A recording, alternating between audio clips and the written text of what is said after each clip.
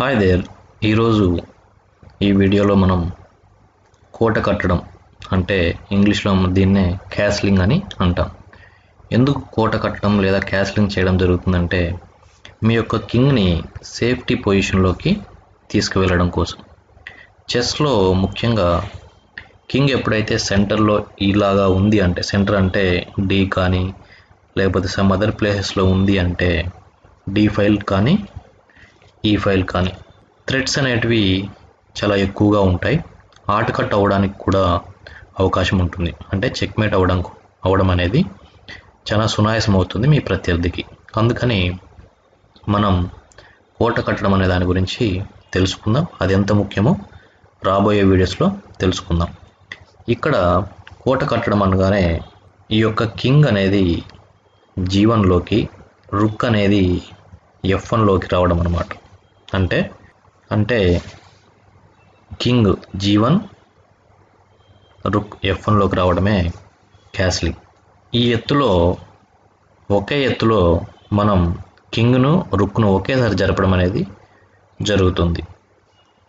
అలా కాకుండా దీన్నే షార్ట్ క్యాస్లింగ్ లేదా స్మాల్ క్యాస్లింగ్ అని కొంతమంది అంటూ ఉంటారు. జనరల్గా షార్ట్ క్యాస్లింగ్ అనడం అనేది జరుగుతుంది. అలాగే లాంగ్ క్యాస్లింగ్ అంటే కింగ్ అనేది ఇక్కడికి. King C one rook D one ఇది లాంగ్ క్యాస్లింగ్ అవుతుంది.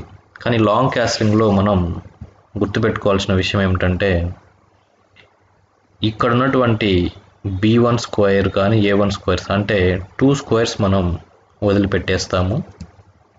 దీన్ని లాంగ్ క్యాస్లింగ్ అంటాం. అదేవిధంగా బ్లాక్ వచ్చేసి షార్ట్ క్యాస్లింగ్ ఇక్కడ ఇంకొక ముఖ్యమైన విషయం ఏమిటంటే వైట్ లాంగ్ క్యాస్లింగ్ చేసిన తర్వాత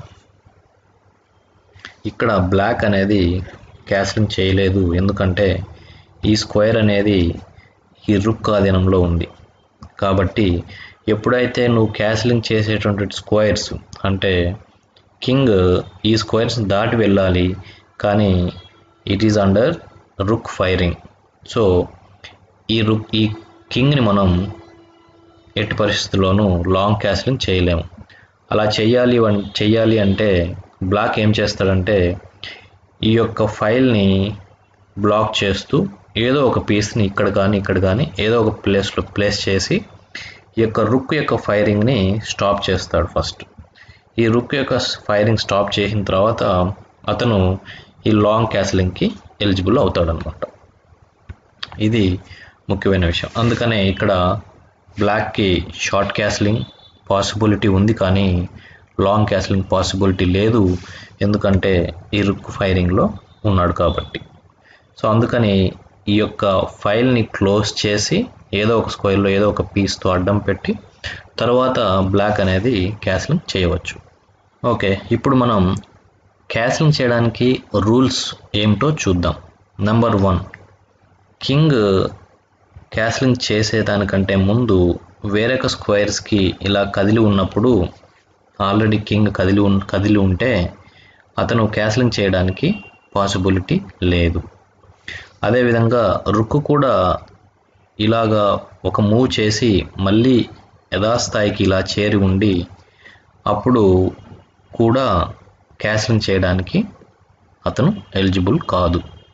ఇంకొకటి ఏమిటంటే ఈ రెండు స్క్వేర్స్ కింగ్కి మరియు రుక్కి మధ్యలో ఉన్నాయి కాబట్టి ఈ టూ స్క్వేర్స్ నీ ప్రత్యర్థి యొక్క ఏ ఒక్క బలగంతో ఆకుపై చేసి ఉండకూడదు.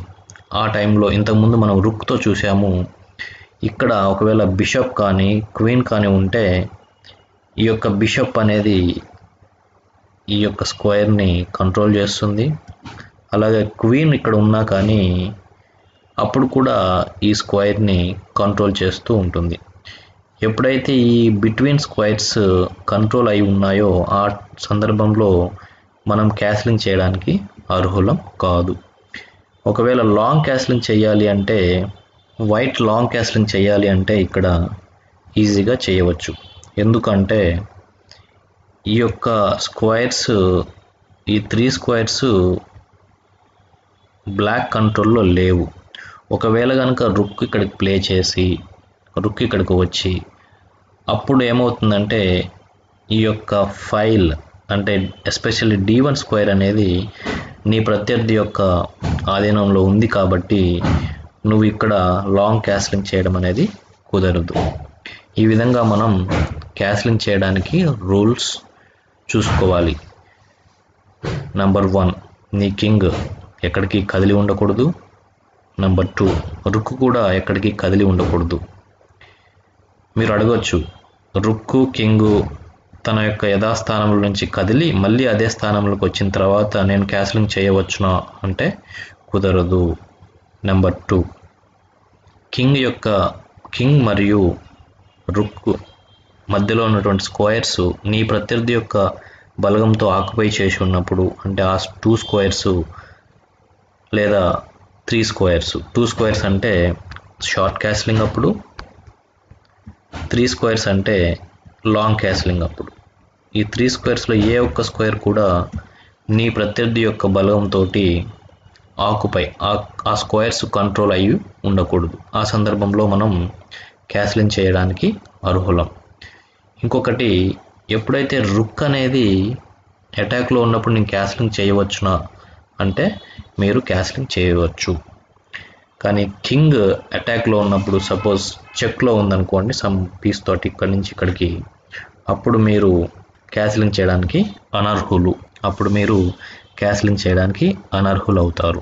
ఓకే ఇది క్యాస్లింగ్ యొక్క ముఖ్యమైన సారాంశం. ఓకే నెక్స్ట్ వీడియోలో మనం ఒక గేమ్ చూద్దాం లేదా కొన్ని మూవ్స్ తోటి ఎలా ఆడుతారు ప్రత్యర్థులు అనేది చూద్దాం. Thanks. And see you on the next video. Bye bye